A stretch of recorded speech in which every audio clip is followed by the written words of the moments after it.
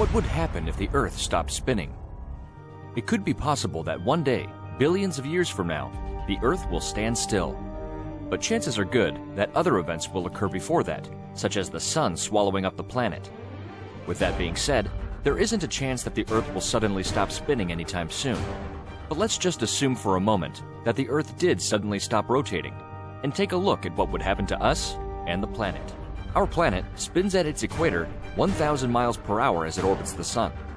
But as you get closer to the poles, the rotation is slower. Without this rotation, life as we know it wouldn't be possible.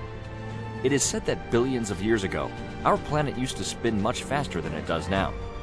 In the beginning of our young solar system, an unknown planet or large celestial body collided with the Earth, and in that collision, the Earth's alignment and rotation were changed, and the Moon was formed.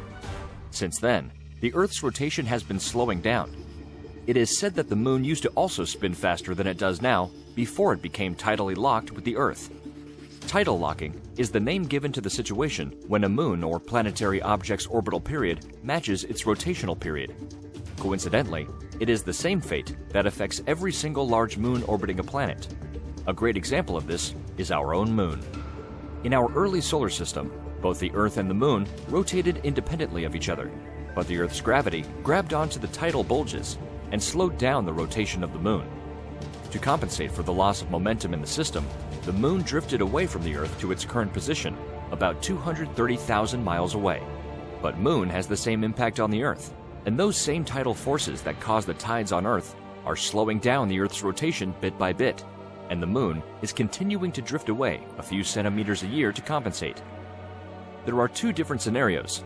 If the Earth just stopped spinning, but wasn't tidal locked to the Sun, the planet would experience six months of sunlight and six months of darkness. But for the purpose of this mind experiment, let's take a look at the effects it would have on our planet to be tidally locked to our star, the Sun. First of all, we have to consider the speed of which our planet rotates at the equator, which is roughly 1,000 miles per hour. A sudden pause would cause everything on the surface of the Earth to suddenly move at a speed of over 1,000 miles per hour, 1,600 kilometers per hour, in a sideways direction. Since the velocity needed to escape the Earth's gravity is over 24,800 miles per hour, everything would stay tacked to the Earth's surface, yet jolted forward. Imagine everything suddenly moving across the planet at 1,000 miles per hour. It wouldn't matter what it was. Everything would experience a sideways deceleration of three quarters of the Earth's gravity. Suddenly, down would be at an angle of 38 degrees from vertical, the force of suddenly stopping would rip buildings right off their foundations and send them flying across the ground with anything else that isn't solid bedrock, destroying everything in a giant and deadly debris path. But that's not all. This would also include the oceans, which would suddenly slosh sideways across the planet, with waves being miles and miles high, moving at the same velocity. Imagine tsunamis so high you couldn't see the top. Just a wall of water racing towards you at 1,000 miles per hour both of these two calamities would be the end of most life as we know it. Although the Earth would stop spinning, the atmosphere would continue to spin at the Earth's same velocity as well, which would create very high winds and very nasty storms. Because the Earth rotates, centrifugal force forces the planet to bulge along the equator. With no rotation, you have no bulge, and without that bulge, all of the extra water held in place along the equator would go rushing back toward the poles. If the Earth stops spinning, you have to take into consideration that the inner core of the Earth is spinning at a faster rate. Just because the surface has slowed down doesn't mean the core of the Earth has stopped too. Our highly volcanic planet might erupt in ways we never imagined. As the tectonic forces above and below enter into a new conflict, supervolcanoes would likely erupt across the entire planet. Our tidally locked Earth would have half of the planet always facing the sun, and the other half would be in permanent darkness.